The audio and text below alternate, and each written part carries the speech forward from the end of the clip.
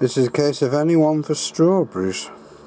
Now Jen's just been eating some strawberries and she's decided to put the bits that she hasn't eaten in the ants and um, I think everybody that's got a bit is going absolutely wild for it.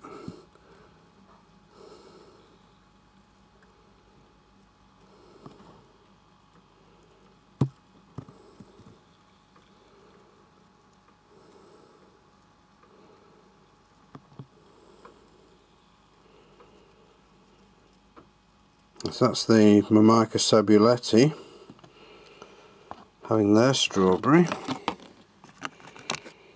And now if we put their lid back on and cross over to the Formica lusatica, they're also going wild for a bit of strawberry. Why not?